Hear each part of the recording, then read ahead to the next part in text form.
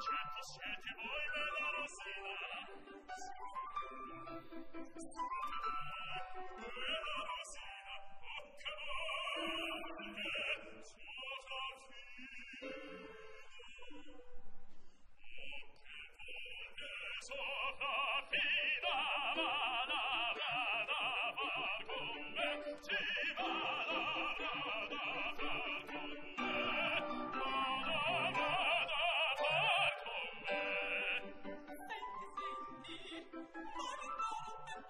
Thank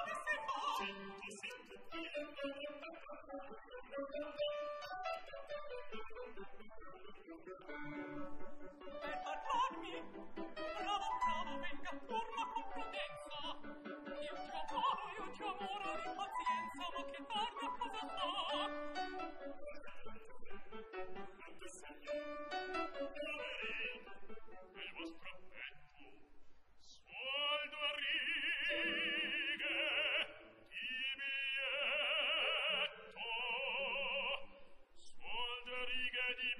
Thanks, man.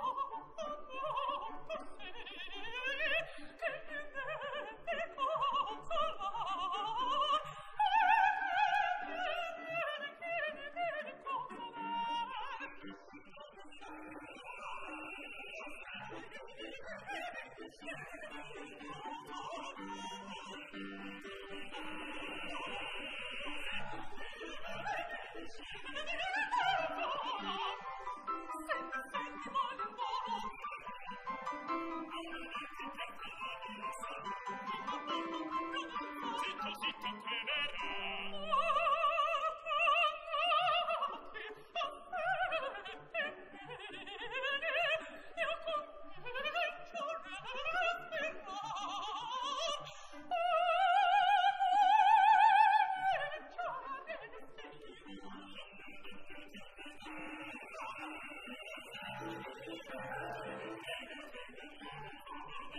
you.